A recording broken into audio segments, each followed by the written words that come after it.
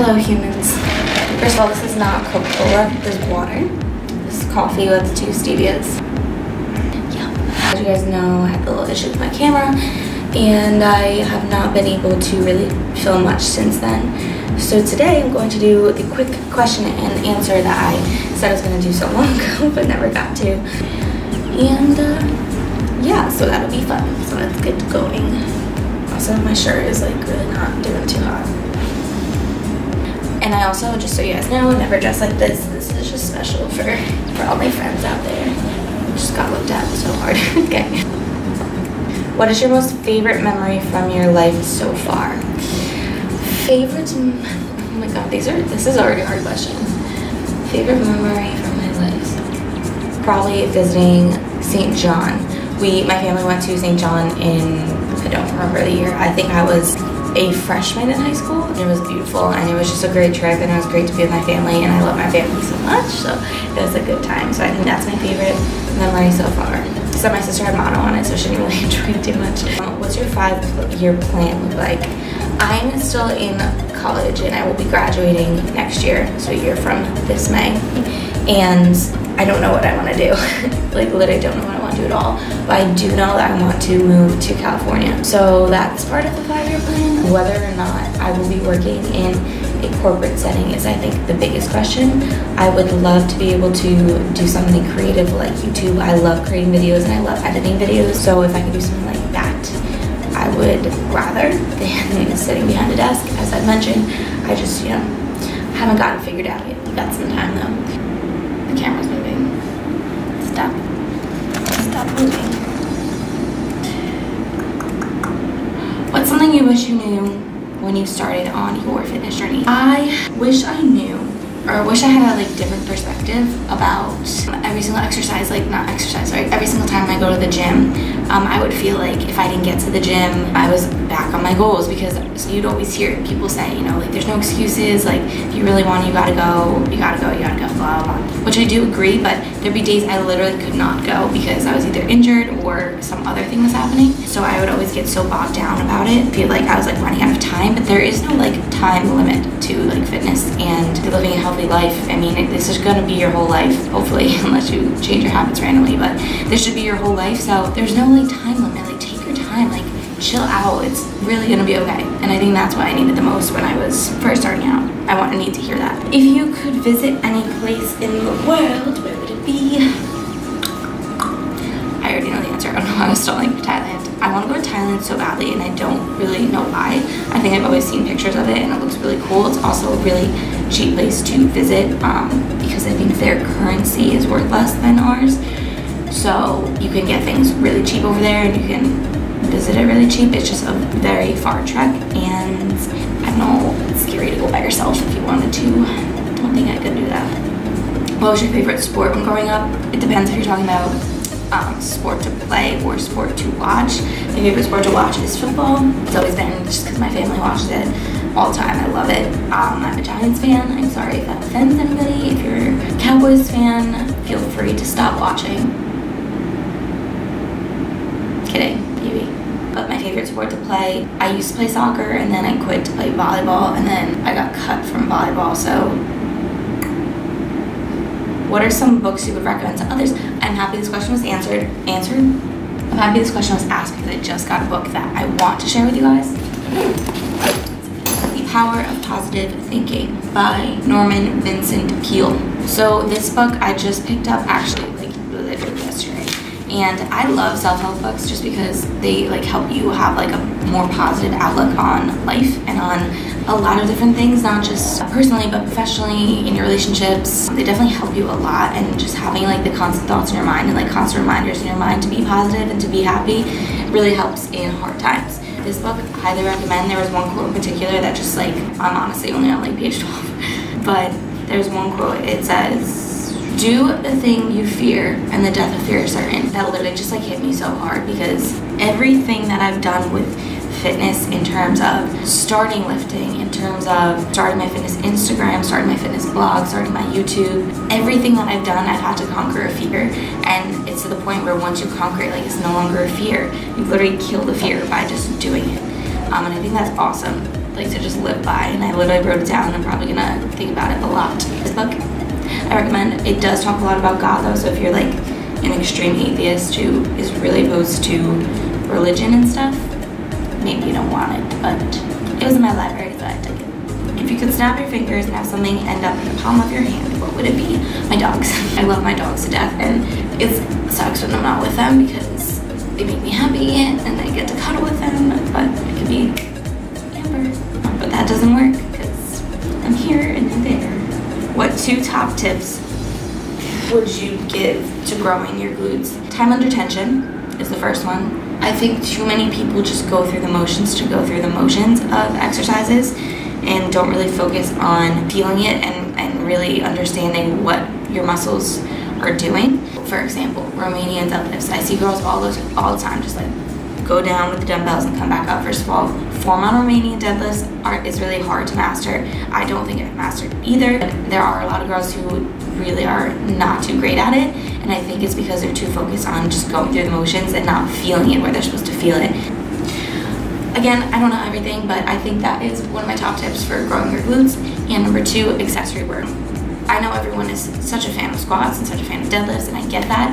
I have never, not never, I do not barbell squat. I just don't, it's just not something I wanted to do. I have been thinking about like adding it into my workouts. It's just my back is still not in the best place, so I haven't done it yet. But everything that I've built with my with my lower body has not been with barbell squats. I think there are a ton of different exercises. You have to find what you what feels best for you and what works best for you because everyone's different. Everyone has different um, genes. Growing my glutes is like kind of easier for me than growing my quads, so I don't really feel like I need to do barbell squats. My opinion, you know. If you eat one thing for the rest of the rest of your life, what would it be? If I could eat one thing for the rest of my life and not get fat, probably quesadillas. I love quesadillas. Um, what is your favorite place to be in your free time other than the gym and why? I don't really have another favorite place. I love my I love my my bed. I'm a really exciting person.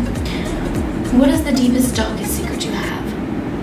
Um I gotta say, my deepest darkest secret is that I am not the person I say I am. Two-faced. I I um so how I explain this? My last name currently is Ross. R-O-S-S Ross. But I was born Gross. G-R-O-S-S. And then in kindergarten, my brother got made fun of. So we, I was like four, I think, four or three, we took off the G.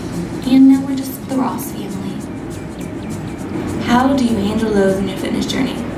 I definitely do get lows. I'm in a time now where I'm like really confident and happy with everything that's going on except for the fact that I can't train upper body and I've lost a lot of muscle in my upper body but I'm still like I've never been so happy with where I'm at like mentally and like physically and everything.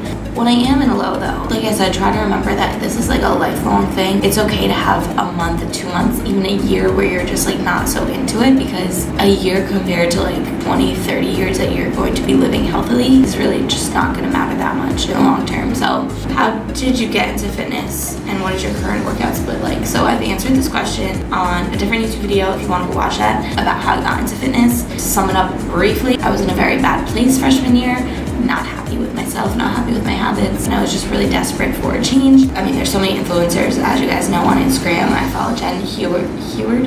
I don't know how to say her last name, Honey Buns Fit, if you know her, and Buff Bunny, and those two were kind of like the ones who really were the catalysts that me figure out how to change my lifestyle and change my habits, and it was not an easy process, it was not a fun process. I was oftentimes frustrated and upset and confused, but I worked my way through it. I learned, and I think that's the only way you can do is just do it.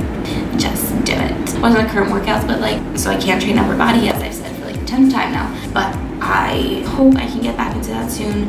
But when I was training upper body, it was shoulders and biceps, back and triceps, legs, and a separate arm slash chest day. Moving on. I literally keep, just keep getting stared at. People are walking by and they're just like, what is this girl doing?